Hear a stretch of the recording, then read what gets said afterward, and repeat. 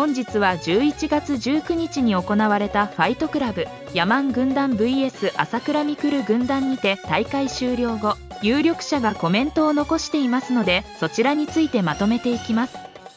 ヤーマン選手は朝倉未来選手を相手に1ラウンド1分20秒衝撃のノックアウト勝利を収めた後リング上にて。どうもこれからは俺の時代です。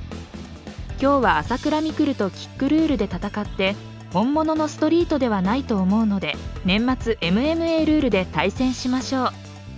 今の俺の打撃見たらまたすぐに終わると思うけどね。あと一言言わせてください。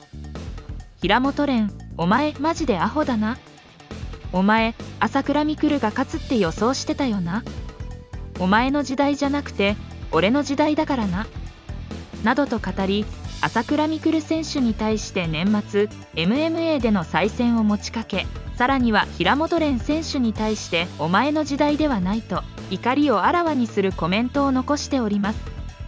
この試合終了後山口博人選手を相手に1ラウンド KO 勝利を収めている西谷大成選手はインスタグラムストーリーにて「ヤーマン年末俺とやで」